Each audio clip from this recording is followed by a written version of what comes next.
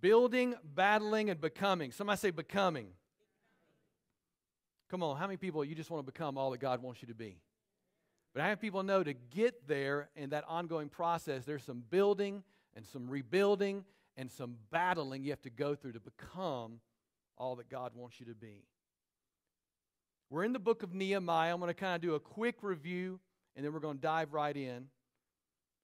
And our main thought for this whole series of building, battling, becoming is, and I want you to hear this, is kind of the main point that it is not the will of God for any of us to live in the ruins of our past and the rubble of our mistakes and failures. I want to say that again. It is not, somebody say not. It is not the will of God for any of us in this room to live in the ruins of our past or the rubble of our failure. It is the will of God that each and every one of us would walk in wholeness, would walk in peace, would come on, walk in shalom, as Dr. Hill talked about at the beginning of March, that we'd walk in the fullness of God, that we'd walk in life, that we'd walk in joy. Hello, that we just walk in all that God has for us. But we have a, a, lot of times for believers, we can say it is not the will of God for us to live that way, but a lot of people, that is their MO in life, their method of operation. They live and walk from a place of misery and pain and brokenness instead of walking from a place of healing, wholeness, and joy. Are you with me this morning? Our God is not only a rebuilding God, He's a restoring God. Hello, that's worth a big amen. I want to say it again. Our God is not only a rebuilding God, He is a restoring God. Some of you have lost friendships over things through the years. I believe that our God, and I believe you believe this deep in your soul, I believe our God is big enough that He can even restore lost friendships. A little quiet on that one. Because I think a, a lot of times we write off people before God is wanting us to ever write off people. Actually, I've never known God to write off anyone.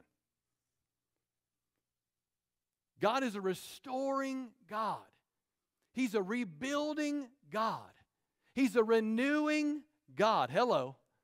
That's our God. And we don't have to have the MO, the method of operation of damaged, broken, um, wounded, always offended. That is not the will of God for any of us in the room. That's not the will of God for you, for your marriage, or for your family. It's not the will of God for me. And that brings us to Nehemiah. This whole book is about rebuilding broken things.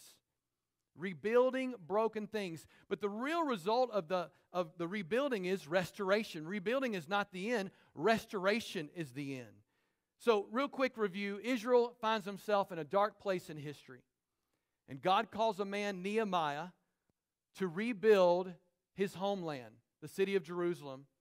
But more importantly, God uses Nehemiah to bring restoration and revival to the people of Israel. Let me just tell you real quick about Nehemiah, because again, I know we have different people here at different weeks. Nehemiah was a Jew, started off as a slave, somehow got promoted by God, of course, promoted him to a place of servant, and he became the cupbearer to the king, the king. And so he and his team were the cupbearers, and at that time it was a really high official position. It was an, a position of honor, it was a position of comfort. He actually got paid. I mean, it was, it was a great position, except that every day you were testing wine to make sure it wasn't poisoned. So that's the part that maybe not so good. I'd be asking like, "Hey, what are the benefits here?" You know, if I but but anyway, so that's what he and his team had to do. They always tasted everything before it got to the king. He was a confidant. History tells us that these type positions, they were a confidant to the king. The king trusted them. And you can see from reading Nehemiah that the king had some serious respect for Nehemiah. The favor of God was on Nehemiah's life. Well, one day, Nehemiah, his brother, his actual brother, and a few friends come in town from, from Jerusalem. And of course, as any person, a sweet reunion, I just had my folks here. It's this wonderful, sweet reunion when you see family. But this was not a sweet reunion because his brother goes to tell him, like, hey, things are not going well back home at all. Actually, everything is in a state of rubble and ruin and ash. And Nehemiah, when hearing this news, he is confronted with things in his soul. And he is brokenhearted and he is convicted and he is burdened that somebody's got to do something. And so Nehemiah immediately goes into, and this is what we should all do when we have things that are burdening our heart. He goes in me to a season of prayer and fasting. And he, and he prays and he seeks God and he fasts and he just seeks the Lord. And the Bible tells us for four months, he's just praying and he's fasting and he's just seeking God and he's just waiting for an opportunity for God to use him because he's praying those prayers like, God, first he checked his own heart and then he's like, God, use me. Use me. And so he, that's going on. And I don't know about you, but if you're waiting for any long period of time, I mean, we're come on, we're in an instant society day like never before. Four months in the grand scheme of eternity, that's not very long, but when you're waiting for something, it can be a long time. And he is waiting for four months, and then on that fateful day, it was a God day, he woke up that morning, and the man that was so burdened and so convicted could no longer hold his emotions in check. Of course, as a cupbearer, you were not supposed to show your emotions at all. You're supposed to be happy and positive, and and uh, but he cannot hold in anymore what's going on in his heart. And so Nehemiah uh, is, is, is down. He's physically down. He's emotionally down. The king, the observant king, notices Nehemiah. And he's like, Nehemiah, what's going on? You're not sick. You, you look really deep. The Bible says you look deeply troubled. And Nehemiah says to the king with a little whisper to heaven, like, "Oh Lord, don't let me cut, you know, die right here." He says, "O king, if it honors you and pleases you, I just have to tell you the truth. My heart is broken over my homeland." And the king says an incredible response to him. He says, "How can I help?"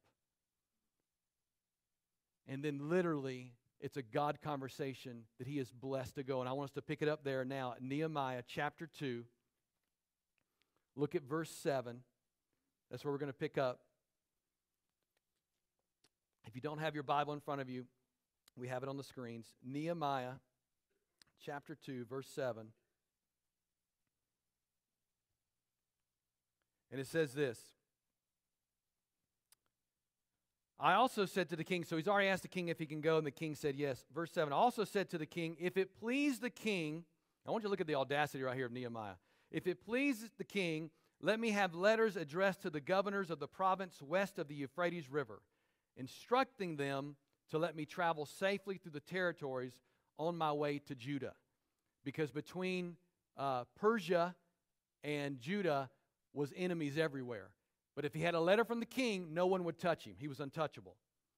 And then he says this, verse 8, and please, so he's asking for another letter, and please give me a letter addressed to Asaph, the manager of your forest, Look at this the manager of the king's forest instructing him to give me timber. So basically, he's telling the king, You're going to pay for the rebuilding process.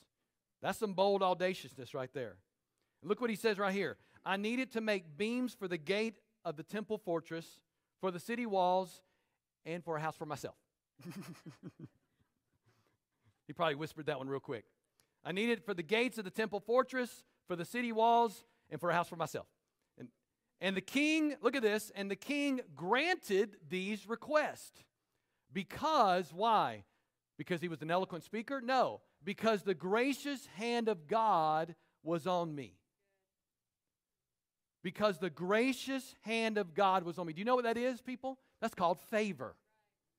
Let me just tell you about favor real quickly. Favor is something that you and I could never do in our own strength. It's a supernatural graciousness that God bestows upon people that are in His will, and He favors you among men. You couldn't do it, but God does it. That's called the favor of God. How many people would love to walk in the favor of God? Well, can I tell you what? You're a child of God, so you can walk in the favor of God. Make sure you just stay in the will of God. Hello. And the king, I love this, and the king granted these requests because the gracious hand of God was on me. Now, the reason you see the word me there is this is written personal tense. This is almost like a journal, it's like a memoir. Nehemiah is writing this. And so he, he you see the favor of God on him. And then look at look at verse 10. Last verse 9, I'm sorry. When I came to the governors of the province of the west of Euphrates, so he's got the letters with him. When I came to the governors of the province of the west of the Euphrates River, I delivered the king's letters to them. Can you imagine how good he was feeling? Here you go, guys. You can't touch me. Can't touch this. You know, he literally just gave, here's my letters. He gives the letters to them. I delivered the king's letter to him. The king, I should add, look at this. Look at the favor of God. He didn't even ask for this. The king, I should add, had sent along army officers and horsemen to protect me. So he's got favor all on him. But when Sanballat the Horonite and Tobiah the Ammonite official heard of my arrival, they were very displeased. Look at the wording here. They were very displeased that someone had come to help the people of Israel. They were very displeased that someone had come to what? Help. Somebody say help. Help the people of Israel. Can I tell you this morning? We'll stay in that scripture there. We're going to go there in just a moment. The enemy can't stand the rebuilding process of God because the enemy knows that the end result is restoration. It starts in rebuilding, but it ends in restoration. And I remind you what the biblical definition of restoration is is better than before. Better than before. Full restoration. Look it up, study it. The full restoration of God is better than before. But it starts in a rebuilding place. It starts in a, in a quiet place. It starts with you and God or you and your marriage. A rebuilding can be a whole bunch of things. It can be your life as an individual, it can be your marriage, it can be your family, it can be a church, it can be, it can be whatever. It can be an organization, it could be a business. I know we have many entrepreneurs here that you bought a business and you rebuilt that business, and because you're a Christian, you gave that business to God, and God used you to bless that business. And by the way, I want to remind you, God blesses us so that we can be a blessing. It's all for His glory. So the rebuilding and the restoration process, it's God smiling down on it, but the enemy hates it. And there were two real men who had really weird names, all right? Sanballat and Tobiah, they were displeased. And I want to tell you what, they were thorns in Nehemiah's flesh the rest of this book. They did everything but mock and even said, they even said, hey, meet me in the back and we're going to have a fight and we're going to kill. I mean, they did everything because the enemy wants people to stay broken. Listen to me. The enemy wants people to stay damaged goods. The enemy wants us to live in offense. The enemy wants you to be hurt and angry. And he would love you to be angry at Christians or the church or leadership. The enemy would love that. He would, lo- he would, the enemy would love for you never to reconcile with friends that you used to have. I want to tell you what, just recently we got an email from someone we've not heard from in 10 years. And I went to this brother and his wife and kids, and I apologized to them about something many, many, many years ago. Something that, you know, that I was involved with, that I just felt like the Lord told me, you need to go to them and make it right. And he would not receive me at that time because I, in regarding the leadership of that church, and the church just went through a painful time. It was just, ah, oh, it was bad. I can't stand church splits and crap like that. It's just, sorry, I shouldn't have said that. But anyway, uh, but that's what a church split is. I, I just can't find the biblical. Uh, anyway, don't get me going on that. Sorry. Uh, so I went to this man uh, just because I was a leader on the staff, and I just felt like somebody needs to go to people. So I just went to him and I just said, "Hey, I, I just got to tell you, I'm so sorry for what's happened." And uh, he, he, you know, he was kind and gracious, but basically said, "Get out." And uh, and so we just heard from him. Hadn't heard from him in ten years. And he said, I am taking a position in a church, and I cannot take this position until I repent to you and Lisa. You came to my home, and I would not receive you nor receive your apology for the church. And he said, I just have to tell you, I'm so sorry. And when you come this way, please come visit us. I'd love you to meet my family. And I want to tell you what, like, I broke down when I got that email because I never thought I would hear from this person again, and I wasn't holding something like he better ever, he better. We can't be like that, people. We can't be a record of wrong, holding the record over people's heads. I just learned most people don't apologize, but that you know what? We take the high road and we apologize. We take the high road and we repent. We take the high road and we just let these things. We let them go. We let it go because we can't stay broken people. And this, this young man, now in his late 30s, was convicted by God. He says that in the email I can't take this office without letting you know I'm so sorry. And I've seen through the years friendships just disappear from people. And I'm like, God, where are you in the middle of all this? And God's like, I want to restore it. I want to bring healing to it. And I just think a lot of times we get in the, in the way and in the middle of all that. Hello.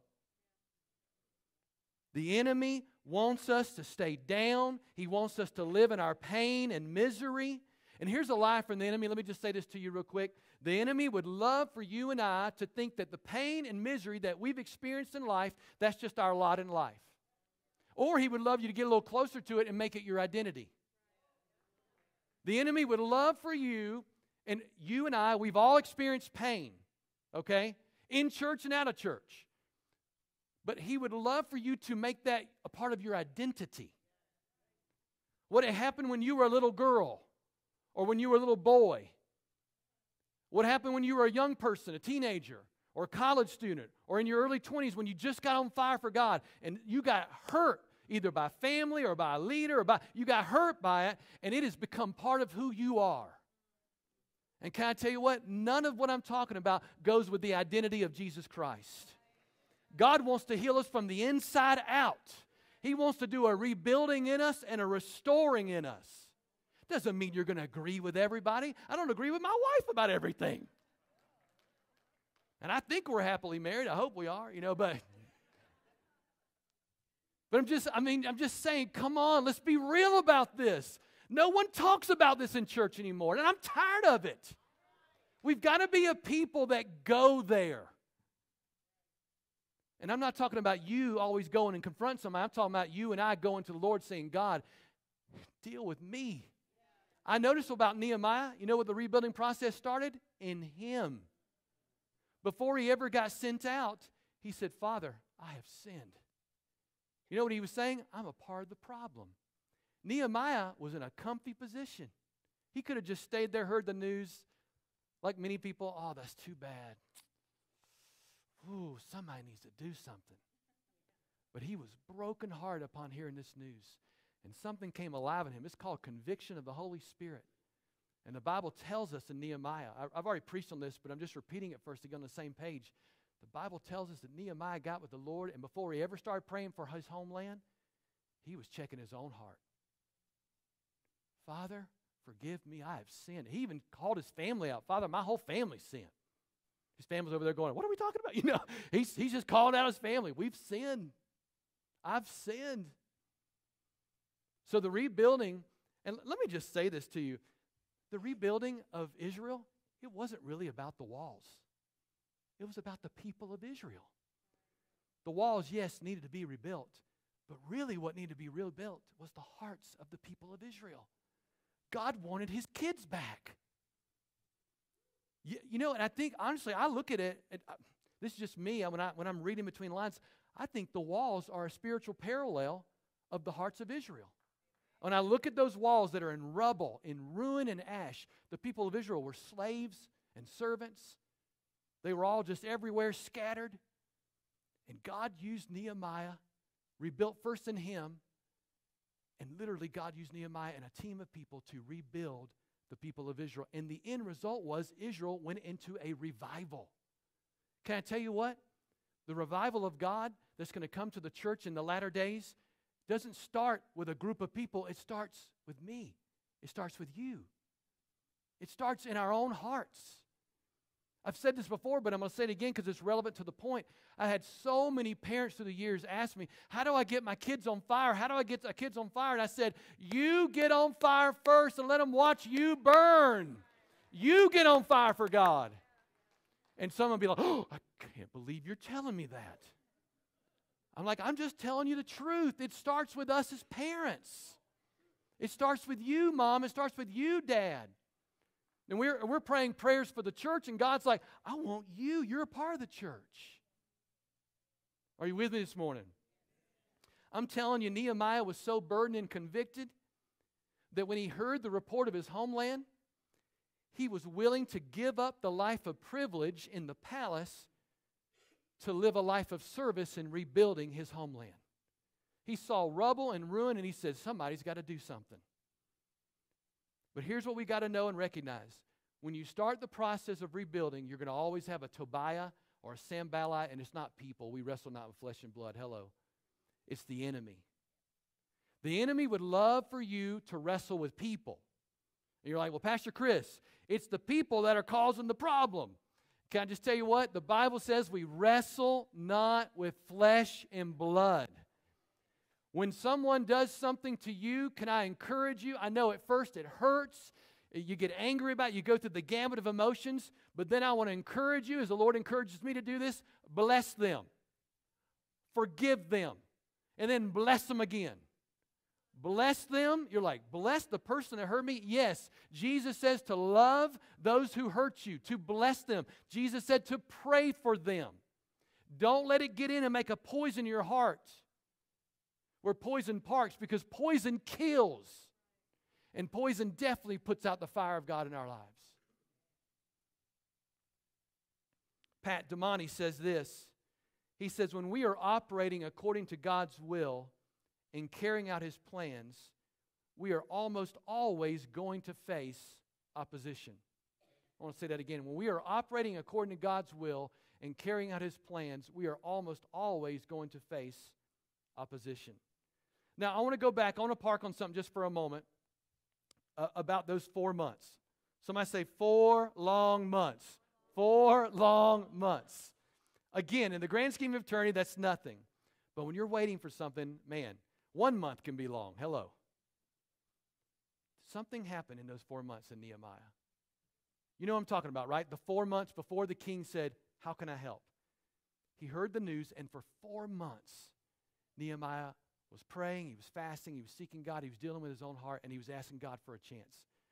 Now, I believe God did something pretty crazy in those four months in Nehemiah, my terminology, but I mean, I believe that in those four months of praying and waiting, that God began to give Nehemiah a vision and a plan for rebuilding Jerusalem. I'll prove that to you biblically in just a moment before we close out. I want to say that again. While Nehemiah was waiting and he thought God was doing nothing, this is speaking to someone right now. You are in the waiting place. You are waiting for something. And Nehemiah was waiting and waiting. God, use me. God, use me. God, use me. And while he was waiting for God to do something so he could go, God was instilling in Nehemiah a vision and a plan. A vision. And here's what Nehemiah, and this is what I want to just kind of get in your heart this morning before we close. See, Nehemiah started getting a vision of Jerusalem already rebuilt. The walls were down. Things were rubble. Things were ash. There was all kinds of stuff. But Nehemiah was getting a vision in the waiting, and he was seeing Jerusalem not as it was, but as it will be. That's what vision is all about. Vision is not seeing what is, vision is seeing what will be. And God was lowering in depositing in Nehemiah a vision. Somebody say vision. It's huge. Are we, are we understanding this? Like literally, like Nehemiah was getting a vision of God. And a vision, a lot of times people can say it's like a mental picture or it's like a it's like a painting in your mind or it's an image or something. But Nehemiah didn't see the walls down. He saw the walls up. Can I tell you what? Wherever you're at in life right now and whatever your problem you are fighting through, and I include myself in that, don't look at the problem through your eyes and your vision. Look at it through God's eyes and His vision.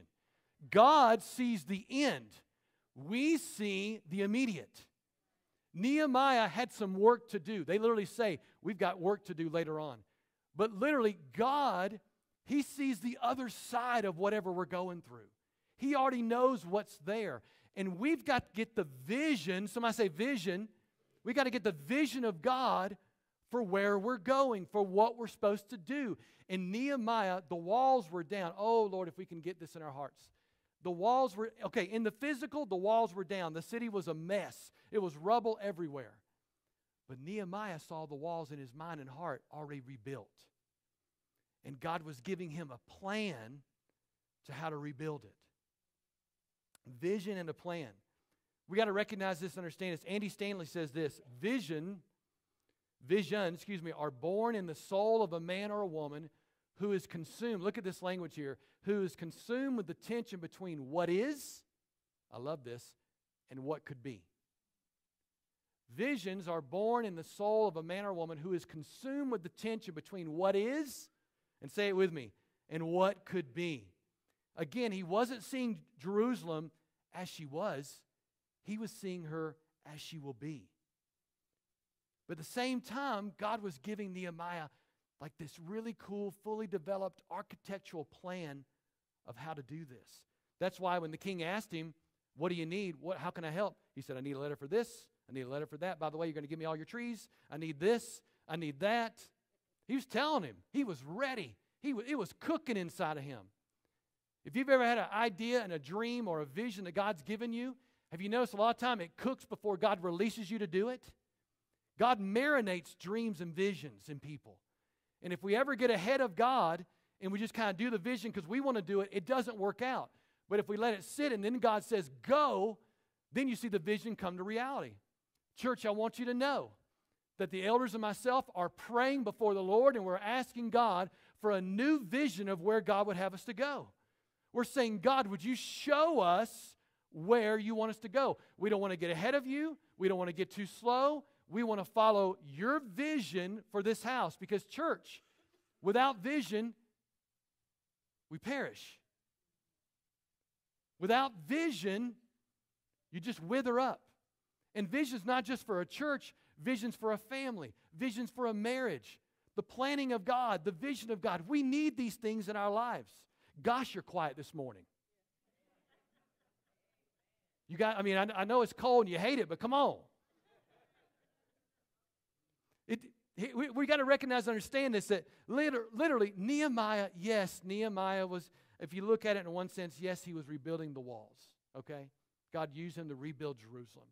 Took rubble and rebuilt everything. And man, it was a lot of work. And they did it in supernatural record time. But more than that, it was about the hearts of the people. It was all about the people. God was rebuilding the walls through Nehemiah, but he really wanted his people to be rebuilt. Because the end goal with God is people. When we pray for Northwest, we pray for people of all ages. When we pray for Emmanuel, I, I never think about the building. I pray for the people. When we pray for the city of Omaha, I'm never thinking about anything but the people. And by the way, this week, I don't know if you saw the paper or you read online, but we had a lot of violence take place in our city this week. And there's a lot of violence takes place here a lot, period. And we were praying in this room yesterday to God, would you remove this vile, violent spirit from our city? And can I tell you what? Thank God for our policemen and our firemen and for our mayor and all them. Thank God for them. But can I tell you what? Who I believe is really going to make a difference? The church. The church is the one who will bring in the light in dark areas. It's the church's responsibility because it's all about people. Anybody ever heard of Jim Cymbala, pastor of Brooklyn Tabernacle? Beautiful church. If you ever go to New York City, I would recommend two churches you visit. There's a bunch of great churches there.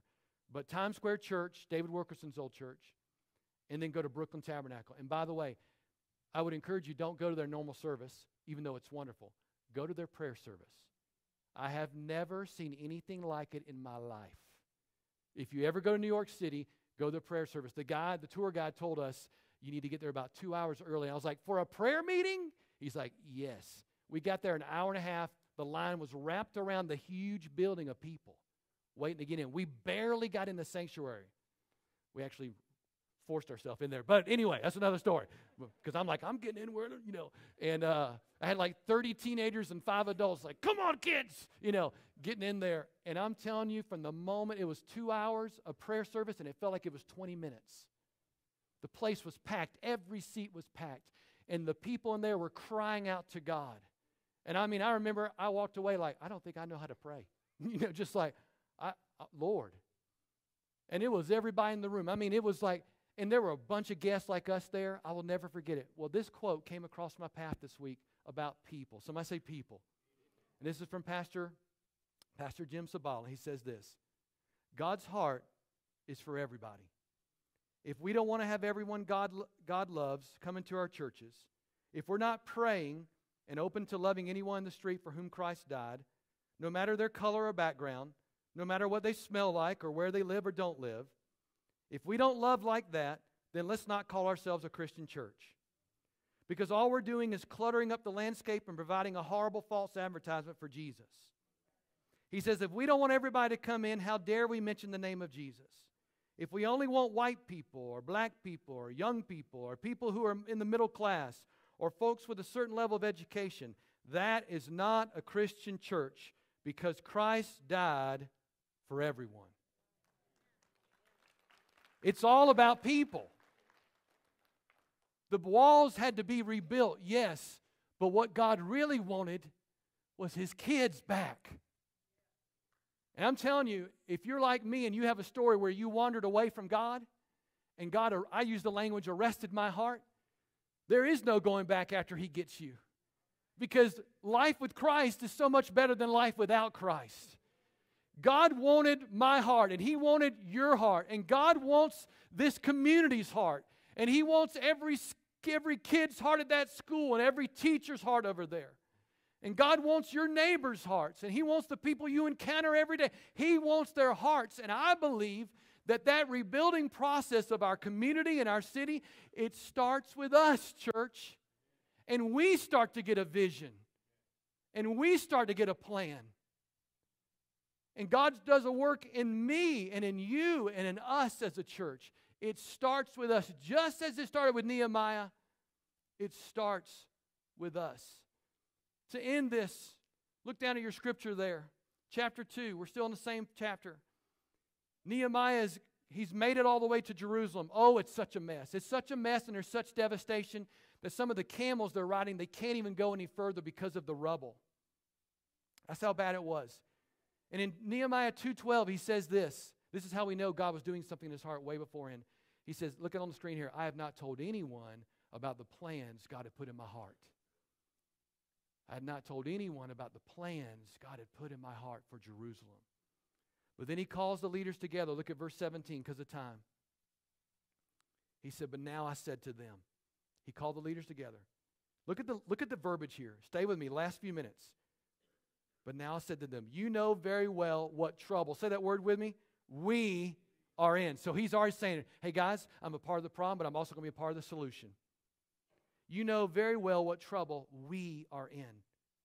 Now he's going to have some brutally honest conversation. Jerusalem lies in ruins, and its gates have been destroyed by fire. And here's this language again. Look at this. Let us rebuild, us, let us rebuild the wall of Jerusalem and in this disgrace, can you hear the passion in his voice? Well, not really, you hear it in mine, but you know what I'm saying? Like, let us rebuild the wall of Jerusalem and end this disgrace, exclamation point. And then I told them about how the gracious hand of God had been on me and about my conversation with the king. And they replied at once, Yes, let's rebuild the wall. So they begin the good work. Somebody say, Good work. Hey, when you're doing a rebuilding process, whether it's your heart, your life, your marriage, or whatever, it's a good thing. It's a God thing. But it was a lot of work.